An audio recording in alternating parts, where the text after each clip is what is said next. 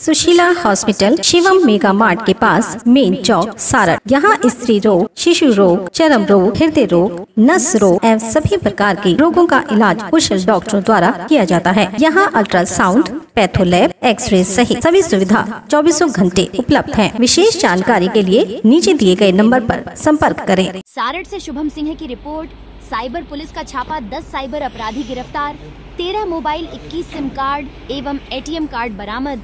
सारठ थाना अंतर्गत पथड्डा ओपी क्षेत्र के नवादा गाँव से 10 साइबर अपराधियों को साइबर थाना देवघर की पुलिस ने गिरफ़्तार किया है। गिरफ़्तार साइबर अपराधियों के पास से पुलिस ने 13 मोबाइल और 21 फर्जी सिम कार्ड एवं एक एटीएम कार्ड बरामद किया गया। जानकारी के अनुसार गिरफ़्तार अपराधियों में नवादा गाँव निवासी गुलटन नापित, सूरज नापित, कन्हैया मिर्धा, मोहम्मद रियाज अंसारी, मिनहाज अंसारी, बरकत अंसारी, आसिफ अंसारी मोहम्मद शब्बीर, मोहम्मद जलालुद्दीन और असरार अंसारी शामिल है। गिरफ़्तार किए गए सभी साइबर अपराधी पथरड्डा पहाड़ की तलहटी में बैठकर साइबर अपराध की घटना को अंजाम दे रहे थे। उसी दौरान गुप्त सूचना के आधार पर साइबर थाना देवघर की पुलिस ने ताबड़तोड़ छापेमारी कर 10 साइबर अपराधियों को रंगे हाथ गिरफ़्तार कर लिया। ये सभी साइबर अपराधी क्रेडिट कार्ड यूज़र्स को फर्जी लिंक भेजकर अपडेट करने का नाम से क्रेडिट कार्ड डिटेल्स प्राप्त कर पैसे ठगी करने के अलावा क्रेडिट कार्ड यूज़र्स को थर्ड पार्टी या बेस एपीके का फर्जी लिंक भेजकर क्रेडिट कार्ड डिटेल्स प्राप्त कर ठगी करते थे एवं गूगल सर्च इंजन पर कस्टमर केयर हेल्पलाइन सर्विस का एड चलाकर आम जनों को जांचे में लेकर बैंक डिटेल्स प्राप्त कर ठगी का शिकार बना देते जून से कम हो जाएगा?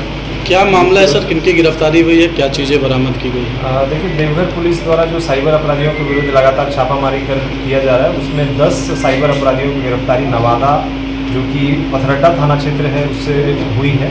इन लोगों का बेसिकली जो क्रेडिट कार्ड से रिलेटेड फ्रॉड होता है, वो ये लोग करते हैं, जिसमें एसबीआई क्रेडिट कार्ड और टाटा कार्ड्स उसके लोगों को वो कॉल करते हैं कॉल करने के बाद उनको कस्टमर केयर के अधिकारी बता करके उनसे डिटेल लेते हैं, जो कि विकसाइट एक लिंक है जो उन्होंने डेवलप किया है। वो एक तरह से टू स्क्रीन ऐप होता है और उस वेबसाइट के ऐप में जब आप डिटेल भरते हैं तो इनको मेल में वो डिटेल मिल जाता है। और जब वो डिटेल मेल में उनको मिल जाता है तो वो उससे वो फ्रॉड कर देते हैं। बेसिकली उसमें सी कार्ड नंबर और उसमें एक्सपायरी डेट वो डिटेल में ले लेते हैं। और उसमें एक ऑप्शन ओटीपी का भी आता है। जैसे वो कोई सामान परचेज करते हैं या कहीं उस कार्ड का इस्तेमाल करते हैं ओटीपी कस्टमर के मोबाइल पर जाता है, जो कस्टमर बाद में उसको डिटेल दे देता है या ओटीपी भरने का एक ऑप्शन देता है, जिससे उसके बाद फ्रॉड होता है। इनके पास से तेरह मोबाइल फ़ोन इक्कीस फर्जी सिम कार्ड और एक एटीएम कार्ड बरामद हुए हैं। और पूरे भारतवर्ष में जो साइकैप्स है उसके थ्रू हमने बहत्तर क्राइम लिंक इनके मोबाइल से जो है वो पाया है।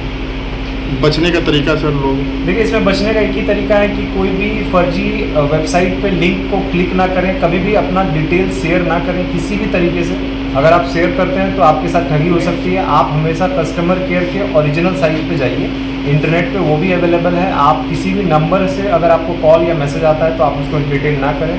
और जब भी किसी कार्ड का डिटेल कोई लिंक आता है तो आप ज़रूर देखें कि वो वेबसाइट किस चीज़ को बिलोंग करता है। तो वेबसाइट जो है कि ये एक तरह का कम्युनिकेशन ऐप के थ्रू का ऐप की तरह काम करता है। अगर आप इसमें डिटेल भरते हैं तो सामने वाले को डिटेल चला जाता है तो आप ठगे जाते हैं। गीतांश टीवी चैनल को सब्सक्राइब ज़रूर करें और वीडियो को लाइक शेयर ज़रूर करें। धन्यवाद।